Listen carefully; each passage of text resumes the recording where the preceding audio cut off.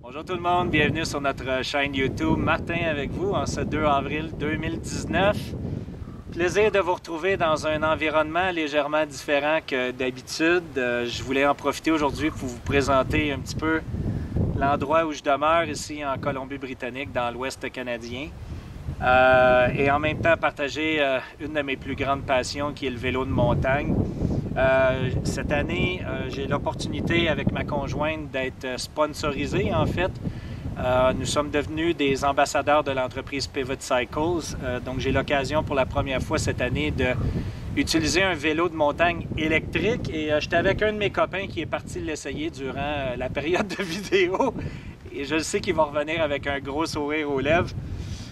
Écoutez, de toute façon, aujourd'hui, je voulais pas parler avec vous nécessairement de vélo.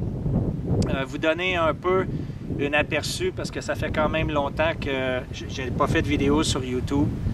Euh, mais vous donner un aperçu de tout ce qu'on a fait dans le courant des derniers mois, ce que nous sommes en train de voir au niveau de l'économie aussi et les changements majeurs à venir.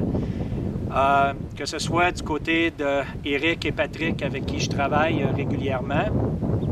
Nous avons travaillé du côté des meutes à améliorer grandement notre site web alors qu'on a eu dans le courant des derniers mois plusieurs problèmes techniques avec la structure de la nouvelle euh, plateforme web que nous utilisons.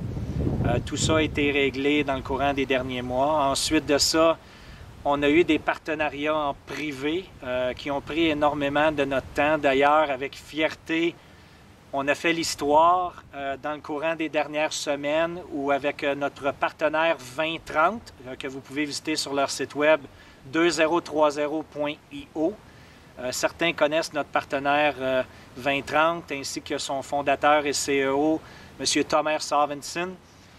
Euh, l'équipe de Tomer ont accompli en fait à être la première compagnie réglementée par l'autorité des marchés financiers en Grande-Bretagne à développer un security tokens, donc une première entreprise sur technologie blockchain qui se retrouve listé sur le London Stock Exchange en tant que Security Tokens.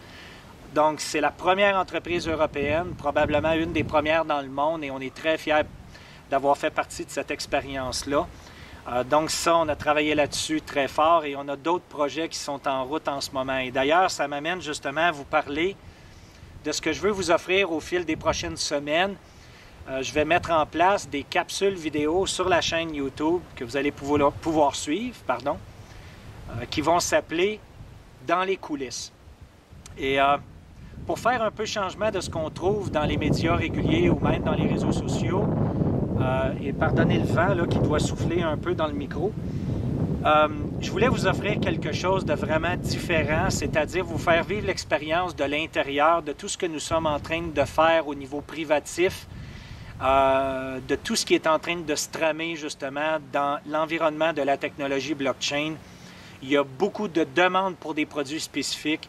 Il y a des produits financiers qui sont en création qui vont merger avec la technologie blockchain, donc des projets hybrides.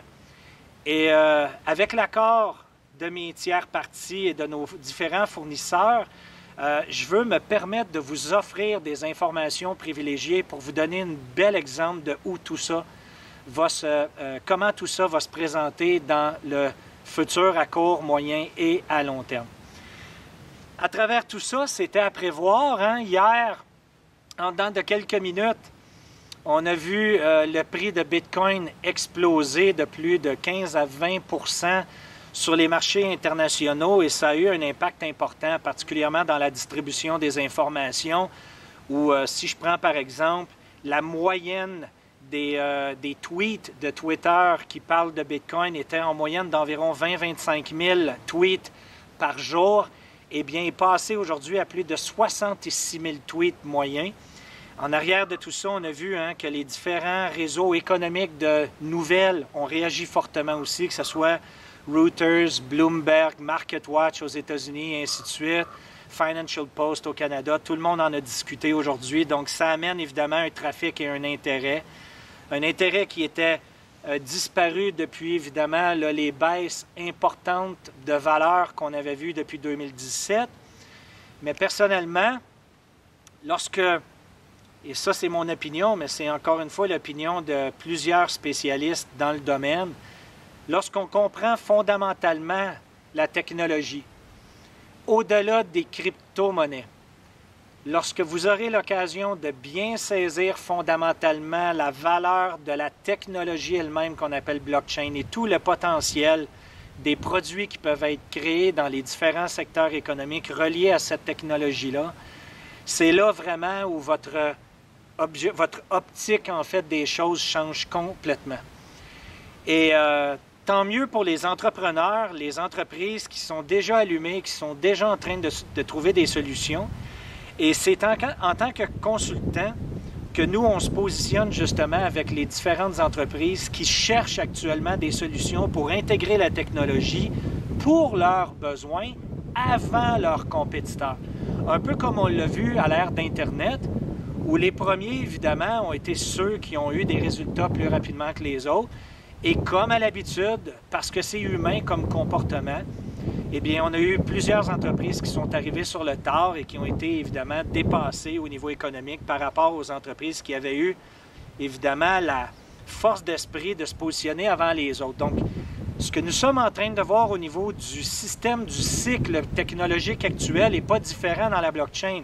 Les premiers qui vont le comprendre, les premiers qui vont l'adopter, vont être ceux qui vont en bénéficier dans les 5, 10, voire les 15 prochaines années. Tout ça, dans un contexte où il est de plus en plus évident pour le commun des mortels que l'économie est mauvaise, ce qu'on sait déjà, vous et moi, depuis plusieurs mois, si vous nous avez suivis et que vous êtes des contrariens, bien vous l'avez vu, vous l'avez compris, que les devises fiduciaires sont imprimées de toutes pièces, n'ont aucune valeur, que les gouvernements ont absolument rien à foutre des référendums, des décisions et des principes de votation légitimes, démocratiques, tels qu'on l'a vu encore non seulement vous l'avez vécu du côté de la France, alors que vous aviez clairement eu un référendum et 55% des Français s'étaient opposés à l'idée de faire partie de la Commission européenne et euh, Sarkozy a reviré ça du, du, de la main, si ma mémoire est bonne, si c'était Sarkozy. Euh, deuxième point, on l'a vu avec la Grèce où Tsipras a changé complètement son fusil d'épaule. Et au bout du compte, bien, on a évidemment la population grecque qui a souffert énormément dans le courant des dernières années. Vous le voyez du côté du Brexit, Brexit actuellement. Et euh, malgré 20 semaines, euh, que ce soit euh, de marche pacifique ou non du côté des Gilets jaunes, pensez-vous vraiment que ça va changer quelque chose? au bout du compte, qui paye la facture de toutes les bris? Des euh, revenus, euh, évidemment des dépenses reliées au système policier et tout ce que l'État a, à payer par rapport à tout ça. Et comprenez bien, je pense que vous me connaissez assez pour savoir que je suis pas contre l'idée d'avoir une révolution, d'avoir un mouvement populaire pour que les gens s'éveillent. Fondamentalement, le mouvement actuel est absolument inutile dans sa forme parce que ça ne changera rien. Le gouvernement ne vous écoute pas et le gouvernement n'en a rien à foutre il y a un plan qui est déjà établi, qui va être respecté tant aussi longtemps, et tant aussi longtemps, et tant aussi longtemps que vous allez utiliser, vous et vos voisins, le système financier dans lequel vous vivez actuellement.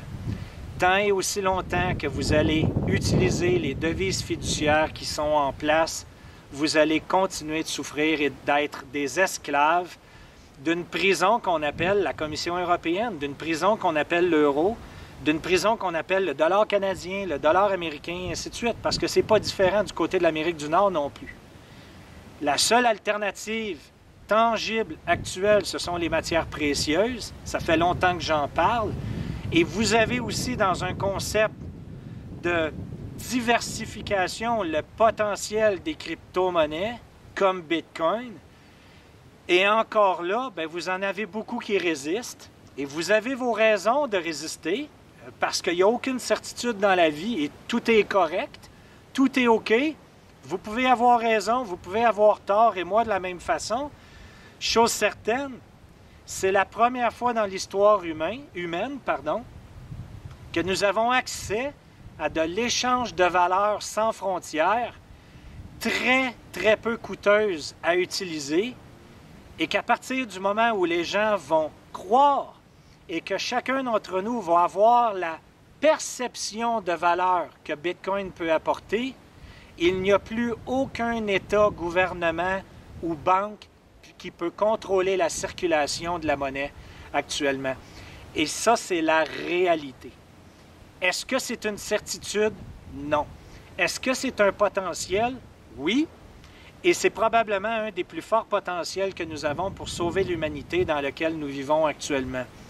Regardez les souffrances qui s'installent par la perte de pouvoir d'achat, par la dévaluation des devises fiduciaires, que ce soit du côté du Venezuela, que ce soit de l'Argentine, la Colombie, l'Afrique aussi, tous des pays, et regardez par vous-même sur Google Trends ou Google euh, euh, directement sur votre Google, et vous allez le voir que ce sont des pays qui utilisent déjà les devises digitales beaucoup plus que n'importe quel autre pays en ce moment, justement pour protéger leur pouvoir d'achat alors que leurs devises sont en train de fondre comme neige au soleil.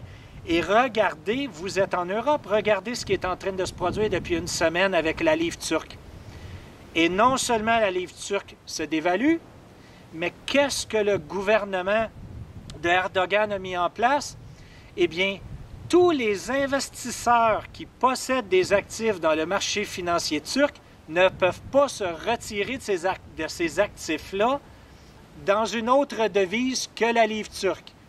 Donc, imaginez comment tout le monde vient d'être fraudé en même temps, et ça peut arriver à n'importe quel moment pour n'importe quelle devise, pour n'importe quel pays, parce que vous ne contrôlez pas la devise en circulation. Donc, j'espère que ça vous allume, euh, que ça vous allume un minimum de lumière.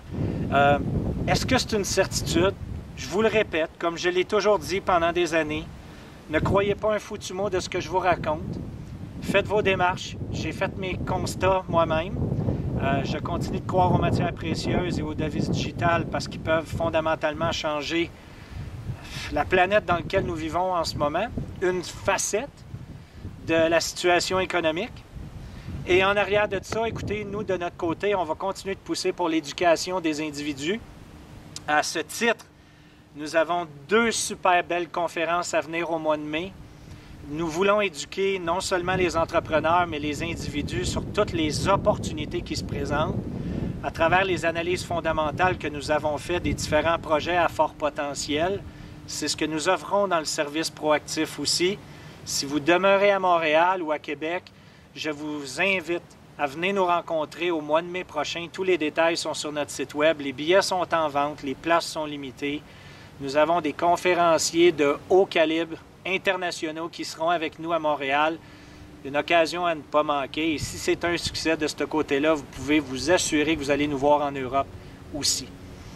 Ne manquez pas nos capsules dans les coulisses que je vais mettre en ligne dans le courant des prochains jours. J'espère que vous allez assez apprécier le contenu pour pouvoir le partager, alors que maintenant nous commençons à être bannis dans les plateformes privées de type Facebook et Twitter très bientôt sur une plateforme de réseaux sociaux, technologie blockchain qui n'appartient pas à aucune entreprise. Ils ne pourront pas nous bloquer, les amis. On va pouvoir évidemment partager et dire ce qu'on a envie de dire et personne ne va pouvoir nous arrêter. Sur ce, passez une belle fin de journée. J'ai l'impression que mon copain aime beaucoup euh, s'arrête de vélo parce qu'il n'est pas revenu encore. J'espère qu'il va revenir parce que je lui ai même prêté mes souliers. Salut tout le monde. Bonne journée. Bye bye.